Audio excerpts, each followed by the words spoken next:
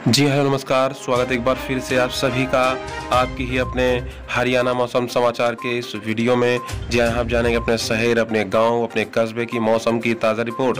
अगर आप हरियाणा के किसी भी ज़िले से इस वीडियो को देख रहे हैं तो वीडियो पर एक प्यारा सा लाइक करें, ज़्यादा से ज़्यादा इस वीडियो को शेयर ज़रूर करें।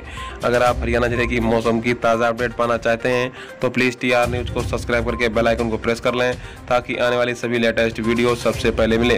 हम आपको बता दें, नौतपा के तीन दिन बाद भी आसमान आसमान से बरस रही है आग। चौवालीस दशमलव दो डिग्री तक पहुँचा तापमान। अभी सात दिन नहीं मिलेगी राहत। नौतपा का असर कम होने के बाद भी पिछले तीन दिनों से आसमान से आग बरस रही है। यह सिलसिला शनिवार को भी जारी रहा।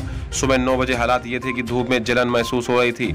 अधिकतम तापमान चौवालीस दशमलव दो डिग्री और न्यूनतम तापमान सत्ताईस डिग्री सेल्सियस दर्ज किया गया। मौसम विभाग के अनुसार अगले सात दिनों तक इस गर्मी से राहत मिलने के कोई आसार नहीं बन रहे हैं। इस दौरान धूल भरी हवाएँ चलने की संभावना बन रही हैं। पश्चिमी विक्षोभ के असर और राजस्थान पर बने साइक्लोनिक सर्कुलेशन के कारण मई के अंत में मौसम सुहावना हो गया था। उत्तरी पूर्वी हवाओं संग पहाड़ों पर हो रही बर्फबारी का असर मैदानी इलाकों में भी आ गया था। इस कारण 25 मई से शुरू होने वाले नौतपा का असर कम हो गया था।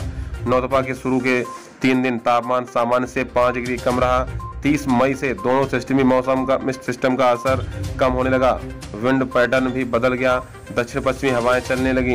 राजस्थान की ओर से आ रही ये हवाएँ इतनी गर्म थी कि उन्होंने मौसम का मिजाज ही बदल दिया। इससे दिन और रात का तापमान बढ़ने लगा।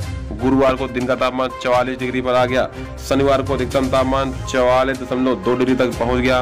वरिष्ठ मौसम विज्ञान विभाग के डीपी दुबे ने बताया कि किसी भी मौसमी सिस्टम के एक्टिव नहीं होने के कारण 10 जून तक मौसम खुश्क रहेगा।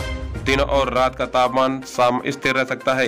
बीच बीच में आंधी व धूल भरी हवाएँ भी चल सकती हैं। जी हाँ ये थी हरियाणा से जुड़ी मौसम की ताज़ा अपडेट। मिलते हैं सभी को अगले वीडियो में। तब तक तब तक टी आर न्यूज़ के साथ बने रहिएगा। चैनल को सब्सक्राइब करके बेल आइकन को प्रेस कर लीजिएगा ताकि आने वाली सभी लेटेस्ट वीडियो सबसे पहले मिले। जी हाँ जय हिंद, जय भारत।